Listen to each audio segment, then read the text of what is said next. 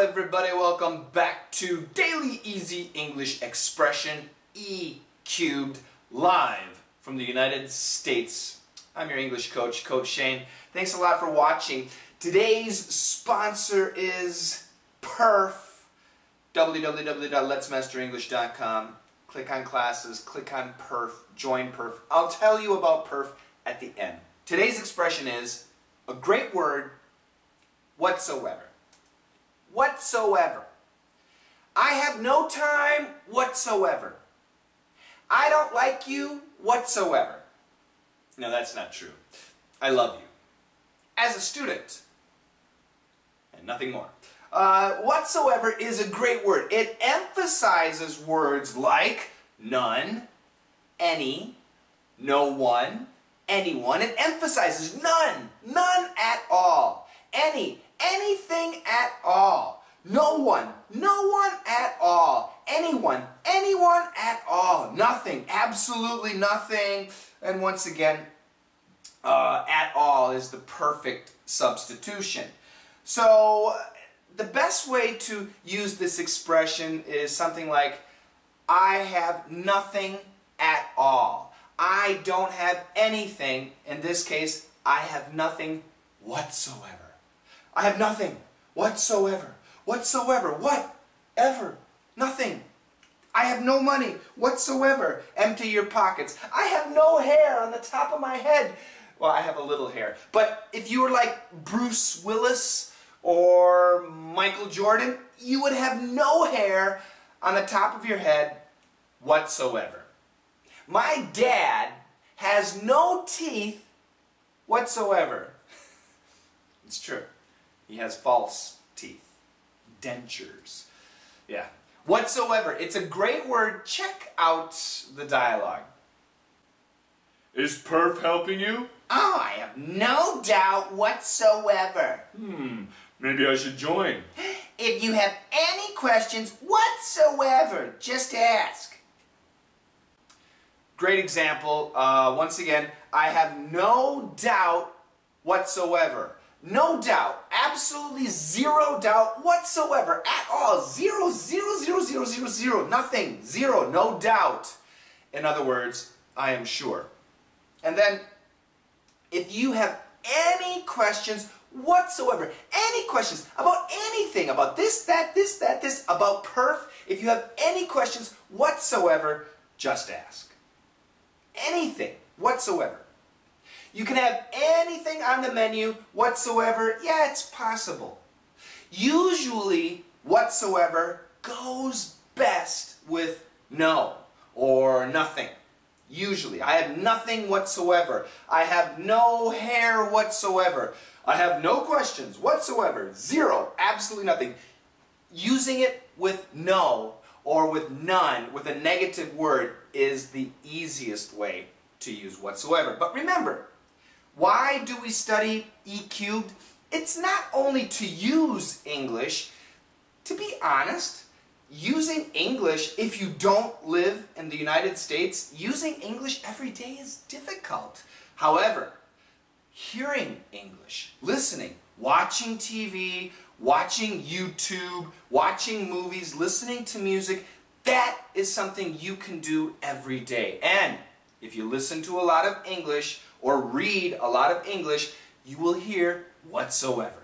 Okay? It's a great word. It's sometimes tricky, a little bit difficult to use. Okay? Oh, by the way, I have many DDM students and PERF students in the United States where everybody speaks English right, but even those people have a hard time speaking English every day. It's, it's sounds silly, but it's, it's true. Some, some of them tell me, I speak the most English with you, with me, in my live classes, which is really great, but that's reality. So, yeah, so using English every day, even if you live in America, uh, is not necessarily that easy. So studying E cubed you should be studying, you should be watching E cubed for two reasons. Number one, to learn an expression. But remember, using the expression is excellent. You need to use it in order to memorize it or have it in your head. But using it is difficult. It is difficult. So you should be watching E Cubed to build your listening knowledge. Now, and I usually say this at the end of every video, what I want you to do is go to Google and search whatsoever. Nothing whatsoever. No one whatsoever. Anyone whatsoever. Any whatsoever. Search these words, okay? See what you find. Don't look at the English study pages. Don't look at those pages. Go to Google News or the web. Just find other places, not the English study websites. It's all boring teacher stuff. Find out how Americans or British people or Australians really use the language. Don't ask me. You Google search it. Go to Google News and, and find great examples. Okay? So whatsoever is a great word. Let's check out the dialogue three more times. Please find somebody to practice. And let me tell you about PERF. If you're not a member of PERF, you need to join. Check out the dialogues. Is Perf helping you? Oh, I have no doubt whatsoever. Hmm, maybe I should join. If you have any questions whatsoever, just ask.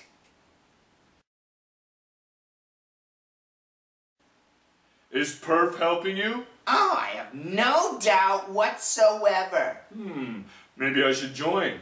If you have any questions whatsoever, just ask.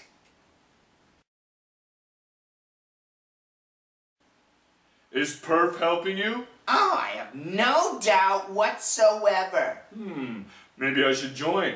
If you have any questions whatsoever, just ask. Perf.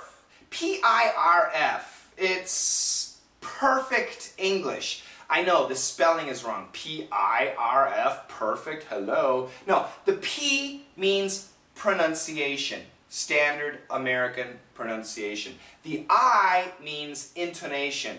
Not just the stress in a word, but the stress in a sentence. The R means rhythm. A long sentence, how do we break the sentence into pieces? How do we do that? Rhythm.